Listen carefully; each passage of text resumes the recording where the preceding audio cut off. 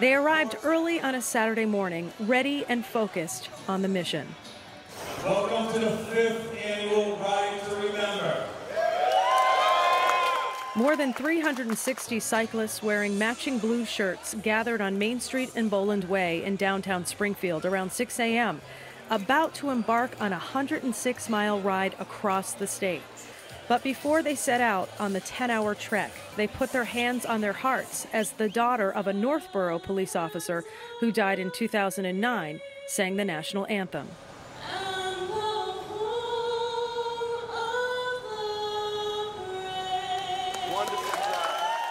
The Ride to Remember, now in its fifth year, is a nonprofit which raises money to honor fallen police officers.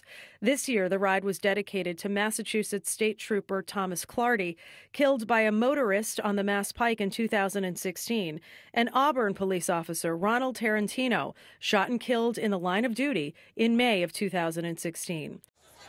Springfield Police Sergeant John Delaney began the ride after his friend and fellow police officer Kevin Ambrose was murdered in the line of duty June 4, 2012, while responding to a domestic call. Ambrose was credited with saving the lives of a young mother and her baby girl. Kevin was first a husband, a father, a family man, and then he was a cop and, and a grandfather. And he was somebody that if you ever met him, he was all about family. And I can still hear him, and, and, and, every time he would see me, how's, your, how's the kids? How's your family? That's all he was concerned about. Kevin's brother, Marty Ambrose, also a Springfield police officer, rides each year. It's quite a tribute to my brother, especially, and, you know, and our family. And uh, it's nice to see the uh, camaraderie, you know, the guys coming out together to support the, uh, the victims of the uh, fallen officers. The Ride to Remember supports one of the charities special to the Ambrose family, Christina's House in Springfield a Christian ministry that provides transitional housing for homeless women and their children. The home has a room named after Kevin Ambrose. They take women who are on their last dime.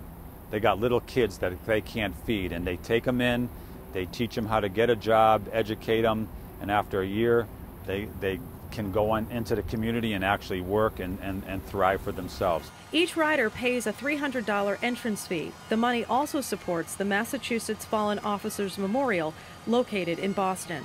This Ride to Remember is like a symbol of what police officers do in their life. Um, it's very hard to understand what a cop goes through through the day in and day out and walk around in our shoes. And they used to say that, you know, only cops, the thin blue line type of type of thing. It's no longer that way. We're, we're part of the community that when you need help, you call us. And it doesn't matter color, creed, race, doesn't, doesn't matter to cops. Some of the proceeds from the ride this year will go towards building a memorial and fixing up these soccer fields here on North Branch Parkway in Springfield next to the Mary Lynch School in honor of Alan Beauregard and Michael Schiavina, two Springfield police officers murdered in the line of duty more than 30 years ago. 32 years ago, they were making an arrest on Stebbins Street, and they both got shot and killed in the line of duty. And Alan Beauregard was my training officer. He trained me how to be a cop. And Michael Scavino was a cadet with me and a friend of mine. And I was one of the first officers on the scene that time.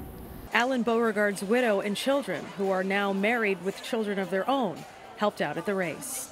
This is so exciting. I mean, I just feel so alive and, and to see everybody coming from everywhere from Massachusetts riding this ride uh, to remember our fallen officers. And it means so much, not to myself, but all the survivors and, and for the officers too, and uh, in the way of thanking them. It's a big year because my son is doing it this year, and uh, just seeing uh, uh, familiar faces from the past Familiar faces like Dave Yell. So I was on with uh, both Mike Schiavina and Alan Beauregard and uh, good friends with John Delaney. So I bumped into John uh, at the Big E one time and he told me about it and uh, I just think it's a tremendous cause. The Ride to Remember also honors Westfield police officer Jose Torres. The 27 year veteran was killed in July of 2012 while directing traffic at a construction site. The huge group stays together, escorted by police. Buses and paramedics follow the contingent all the way to the State House in Boston, where the Massachusetts Fallen Officers Memorial is located. The Sea of Blue attracts quite a crowd in each community they pass through. Retired Springfield Police Sergeant George Collins was on the force for 42 years. He brought his family out to support the cyclists as they rode through Wilbraham. How does this make you feel to have all these people riding? Well, I'll tell you something. It's fantastic, and to to see them going up that road now is unbelievable, isn't it, huh? According to the National Law Enforcement Officers Memorial Fund, 64 police officers were shot and killed in the line of duty in 2016. And this ride is making sure that people don't forget. Reporting for Connecting Point, I'm Carolee McGrath.